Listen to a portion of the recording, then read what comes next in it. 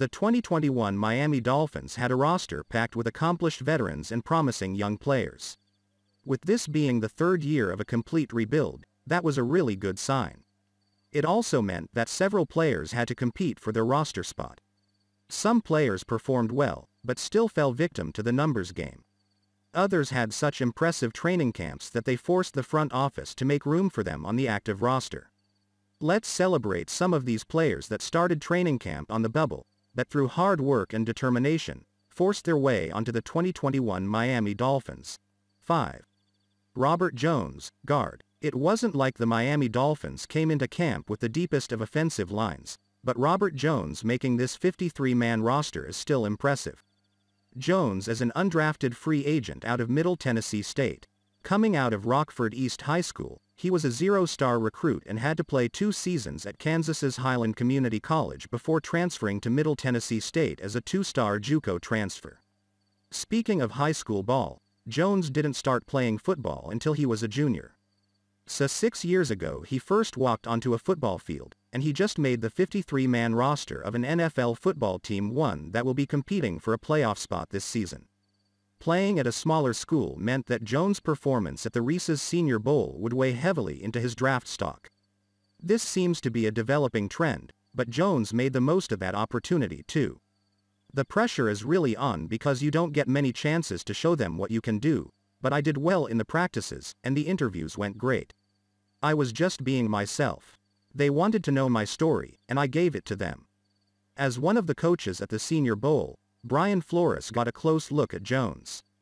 When the rookie went undrafted, Miami swooped in to sign him with an offer that included $130,000 guaranteed, which far exceeds the average guaranteed money given to undrafted players. While it may look simple, offensive line is a difficult position to master especially for young and inexperienced players. Jones got off to a rocky start, struggling mightily in his first preseason game against the Chicago Bears. He followed that up with two stellar performances against Atlanta and Cincinnati. When it was all said and done, Robert Jones was one of Miami's best offensive linemen this preseason. He's still young and inexperienced, but the fact that Brian Flores trusts him as one of the primary backups on the interior speaks volumes about his progress. It isn't likely that he'll start too many games this season, but Jones could be a key member of this offensive line for years to come. 4. Salvon Ahmed, running back. Ahmed was a guy that got lost in the excitement of the offseason. Fans get so worked up about adding new players, that they forget about the standouts already on their team. Make no mistake, Ahmed was a standout in 2020 and this training camp, preseason only cemented that fact. As many of you know, Ahmed was Myles Gaskin's backup at Washington. He was given the reins after Gaskin joined the Dolphins in 2019 and had a strong junior year prior to declaring for the draft. Ahmed's biggest asset always was, and still is, his speed. That's why it was so shocking when he turned in such a poor combine performance. His 4.62 40-yard dash was a full 0.3 seconds slower than his previous best, 4.32. Ahmed was a smaller back with questionable vision who just ran a 4.6 the NFL isn't going to take a risk on that. Ahmed went undrafted, but was signed by the 49ers. When San Francisco cut him, Miami swooped in to sign him. Ahmed would go on to lead all Dolphins backs in yards per attempt and turn in a few impressive performances. The most notable of those performances came against New England when he logged 23 carries for 122 yards. Coming into camp, Ahmed wasn't seen as a lock to make this roster. They went out and signed Malcolm Brown and drafted Gerrid Doaks. Gaskin and Brown were likely the only players safe on the roster. That left Patrick Laird, Gerrid Doaks, Jordan Scarlett, and Ahmed competing for the remaining spot. By the time we reached final cut day, it was a foregone conclusion that Ahmed was going to be making the team. He showed vast improvement as a receiver and had the most impressive training camp of any Miami running back. We are likely to see something close to a true running back by committee approach in Miami this season, so Ahmed is going to have ample opportunities to make plays in 2021 especially in the passing game. Look for him to further cement his place on this offense and team. 3. Trill Williams, defensive back. Prior to the beginning of training camp, I wrote an article highlighting some lesser-known players that could have breakout training camps. Of the three players I chose to highlight, Trill Williams was the one that actually managed to stick on Miami's roster. Williams had been a key contributor at Syracuse since his freshman season in 2018. He played primarily from the slot his last two years at Syracuse, but his length and athleticism will play better from the boundary at the pro level. The draft community was understandably surprised when Williams went unselected in the 2021 NFL Draft. This was partly due to an ankle injury that cut his junior season short. He was signed by New Orleans as an undrafted free agent, but they waived him due to a failed physical. Before they could resign him, Miami swooped in to claim him off the waiver wire.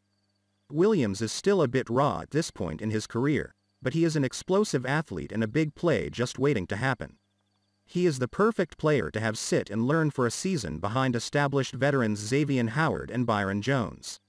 This training camp and preseason Williams has impressed the coaching staff and forced his way onto the field. He hasn't been a dominant player, but also hasn't looked overmatched at any time which is a great sign for an undrafted free agent. His knack for big plays has also translated to an NFL field.